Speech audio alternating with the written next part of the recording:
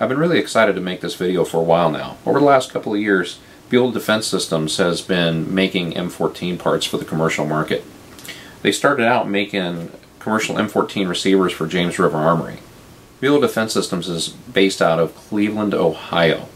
What started out as just making M14 receivers has turned into a company that's been making hammer forged parts such as uh, hammer forged bolts, gas cylinders, barrels, operating rod guides, um, and other miscellaneous small parts. Aside from the traditional receiver, they've also come out with a couple of new receivers. Uh, one of them is the XM21 and the other one is the M21. Now, they, I'll show you the XM21 and their standard receiver. I don't have one of their M21 receivers with me right now. But they've also began to produce some uh, standard M14 receivers with rear lugs and half minute, half minute windage detents for the windage drum. Well, that's enough talk. I'm going to actually start showing you some of the parts that I have here with me. So here are all the parts that I currently have. They do make a few other parts, uh, small parts that I don't currently have uh, in my possession right now. And again, they do make another variant of the receiver. And we'll just start off with the standard M14 receiver. Um, this is basically made to, to mil spec as well, and uh, even so, so far as to put the, uh, the hole on the right side leg. Now, uh, and that was used in a different uh, machining technique in uh, back in the old days, but it's on the military print, so they put it there anyway. LRB does the same thing. Okay, so I went ahead and I gauged this receiver at all the critical points, and everything checked in really good. Um, the bolt fit just fine. Here's one of their production bolts. Okay, again, this these are all hammer. This is hammer forged. These are hammer forged, and in fact, the only thing that's cast are the trigger group housing, and they also offer a cast gas cylinder and a forged cylinder, but we'll, we'll get to those later. So basically got a forged bolt, okay, and uh, it fits in there just fine. And we'll go ahead and move on to the XM21 receiver. So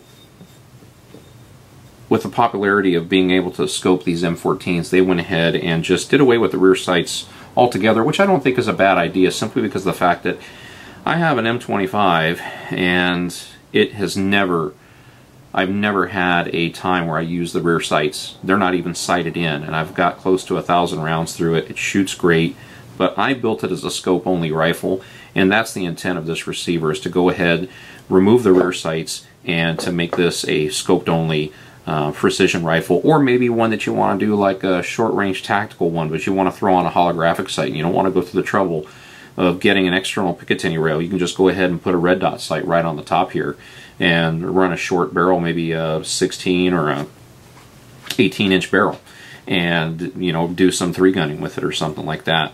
Uh, but again, these are made to the same specs as these, obviously minus the minus the clip guide and the rear sights, and obviously you don't need any side scope mounting um, facilities. Now they also do have a hybrid of these two receivers, which is the M21. So this is the XM21 receiver. They do have an M21 receiver, and it basically has the, um, it still has a, a, rear sight pocket, but it does away with the clip guide, and you've got Picatinny rail sections. Uh, you have a, a, solid Picatinny rail section that bolts on in the front and the back that goes from here. Um, so uh, other than that, I mean, yeah, it's it's it's just a really good quality hammer forged M14 receiver, and just another option for us uh, home M14 builders or for people who want one built, uh, something a little different. And again, you've got uh, basically a, a mil spec uh, hammer forged bolt. This is their latest one that's got a B2 lock code on it. Uh, these seem to be really good bolts. I um, I've got these both fitted to these receivers now, and they pretty much went on like any other bolt that I'd fit to any other receiver. I haven't really seen anything wrong with them yet, but once I get them built, we'll try them out and we'll see how they do. I also did check um, on the receivers the the uh, the helix angles, and they look good. And of course, they also make uh, new um, bolt guts. I've got a firing pin, um, hammer forged extractors, and your ejector and your extractor plunger. Okay. Now moving on, get this one, it's getting away from me. And moving on, now they actually offer a hammer forged uh, GI gas cylinder assembly. or GI style gas cylinder assembly, I guess should say. Um, and these also, I, I don't think they make a standard piston. All their pistons, to the best of my knowledge, are actually black nitride. So these have the, you know, the the the finish, which is basically known as black nitride, tenifer, melonite, whatever you want to call it. So these that's that's how these have all been finished. I haven't seen one from Bula that hasn't been finished like this. Um, I've been kind of prodding them a little bit here and there, sending them messages saying, "Hey, really would like to see a grooved piston version of this." So, hope you're listening. Moving on, we now have their cast gas cylinder assembly. Now at first glance it looks just like any old gas cylinder assembly and you think you couldn't tell a difference. But actually this uh, the spindle valve is actually fake. This has no spindle valve whatsoever, but the spindle valve shape has been milled into there just to make it look authentic. So if you look on the other side, there is no spindle valve and there's no um, there's no roll pin, so you can't. There's there's nothing to turn here. This is always fixed uh, in the open position, and you can't you, you, can't turn the gas valve off. And, and for most people, there really is no reason to do that anyway. So we'll see how these do as well. And moving on to the op rod.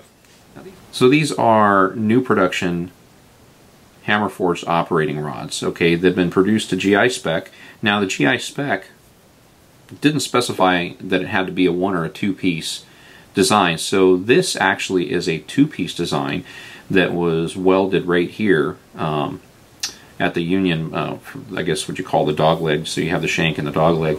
So it's been welded right here uh, to mil spec and finished. And I've actually been using one of these on my other LRB build, my M25 that I just fired yesterday, and it seems to be working really good. It was really straight, the tab's nice and strong. Um, again, it, it's, it's basically gauges as a new operating rod it, uh, oh, the other feature that I really wanted to show you,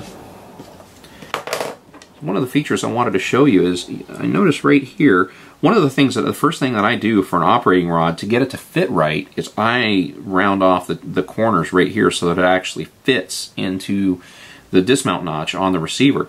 Uh, the every other one I've ever seen that was brand new had a, was perfectly square, and it was a, a, booger to just get it in and get it out. And uh, so what I ended up doing to make things easier is I just slightly stone off the corners.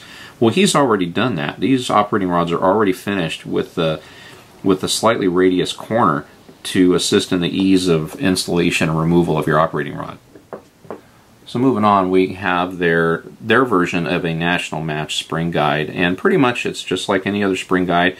Uh, this one's basically round with two flats on the side. Okay, so some of them I know have uh, are more of an octagon shape or something like that, but this one is uh, is basically round. It's just it's only got two flats, and this one has a little bit of a different shape uh, for the uh, magazine, where the for the front magazine engagement surface.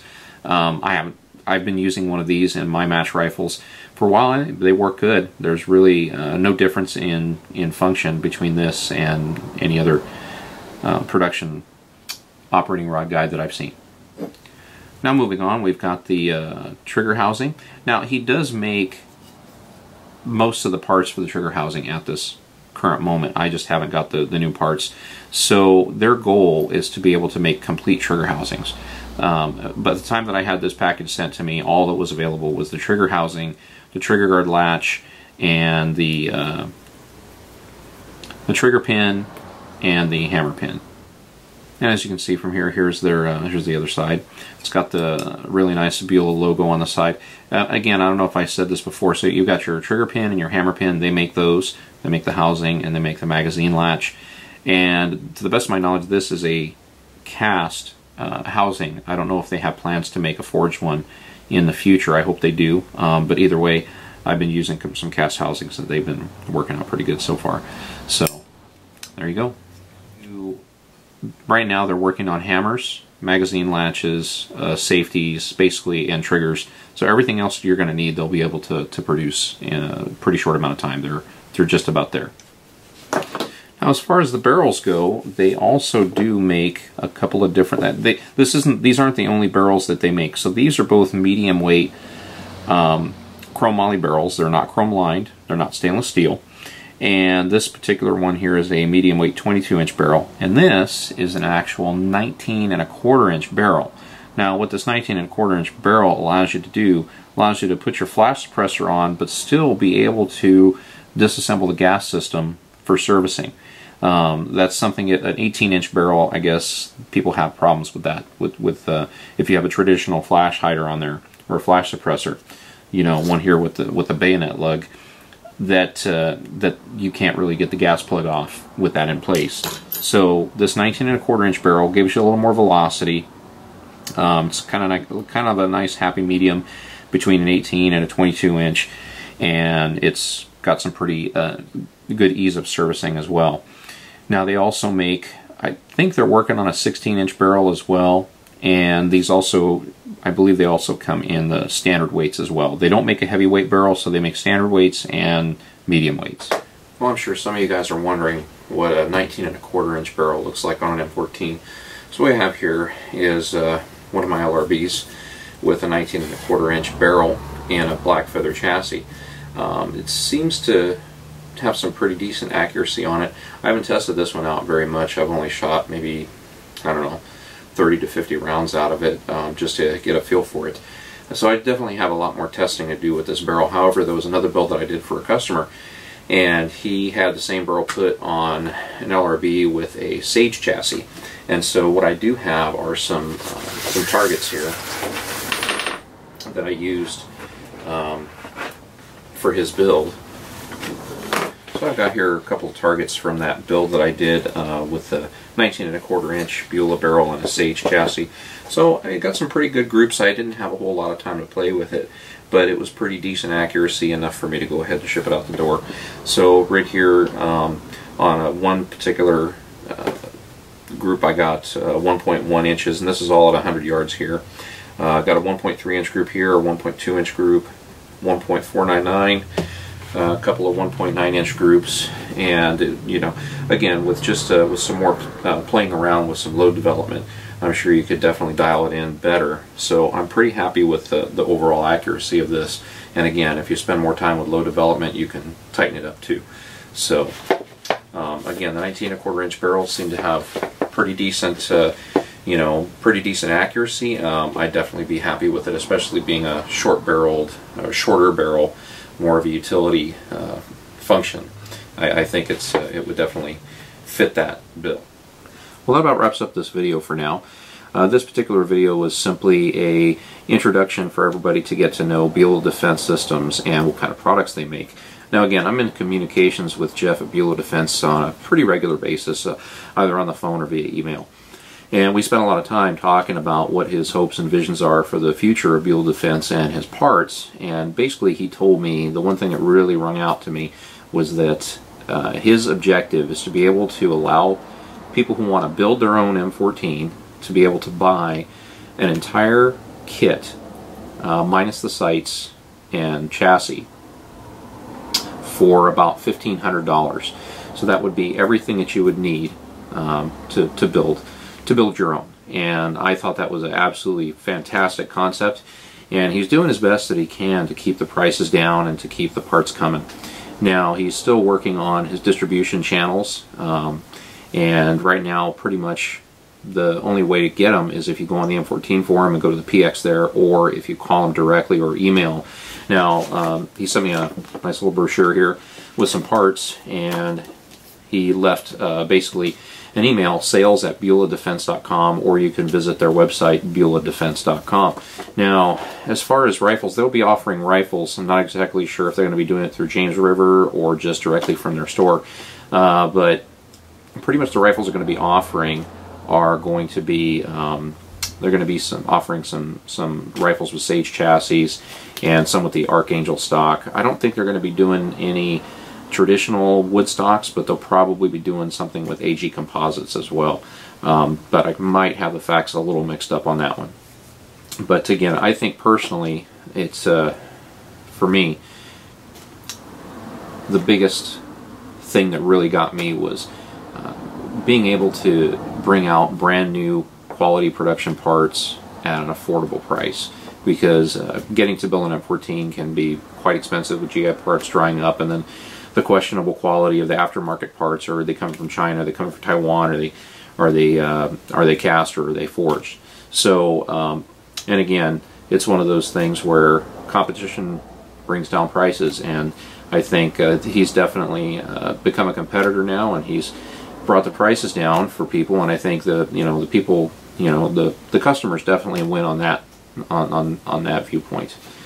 Again, to sum up exactly what parts they're going to be making, uh, in talking to Jeff, and it's November 27th right now, and the last time I talked to him was maybe a couple of weeks ago, and he was basically saying that they make all the parts in-house to produce a Bula XM21 that's ready to drop into a Sage chassis. So the XM21 has no rear sights, so they will not be producing rear sights, at least at the, the last time I talked to him. Anything can change if the business booms, I suppose. And they're not making muzzle devices. And also the Sage chassis does not require a front band, so they're not making front bands either. But everything else they're making. So your, your receiver, your bolt, your trigger group, your operating rod, your gas cylinder, um, all those parts they'll go ahead and be producing and the only thing you have to provide is your own stock, muzzle device, and sights. So, so that basically concludes this video. Again, this video was basically just a summary and an introduction to uh, for everybody to get to know who Bula Defense is and what they're going to be producing. But the next video that I'll be producing that has anything to do with Bula will probably be the one where I put together uh, they're one of the receivers. Basically, I'm going to do a full Bula build and I'll let you all know how that goes, uh, complete with some range reports. So thanks for watching, and keep me in the X-ray.